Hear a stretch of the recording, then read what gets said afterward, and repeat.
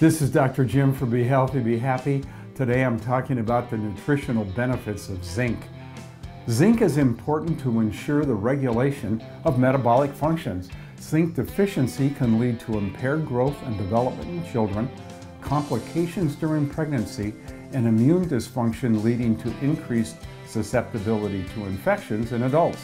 In fact, over the last several years, zinc has been shown to be effective in treating the common cold if taken in sufficient quantities for three days at the onset of cold symptoms.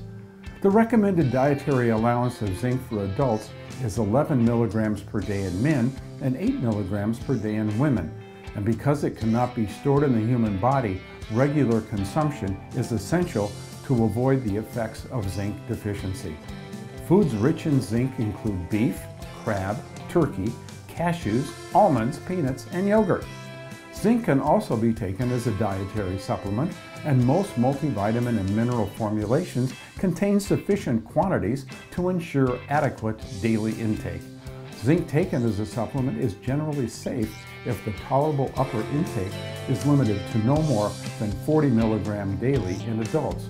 As noted above, the recommended nutritional intake is 11 milligrams in adult males and 8 milligrams in adult females.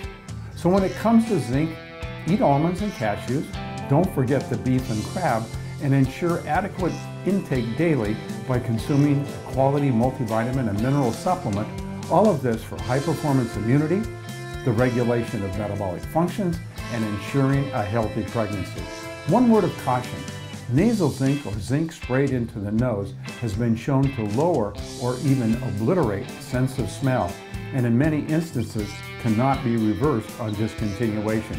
So when taking zinc for the common cold, let a zinc lozenge melt in your mouth every two hours for three days, which has been shown to be the most effective way to stop the nasty symptoms of the common cold. This is Dr. Jim for Be Healthy, Be Happy.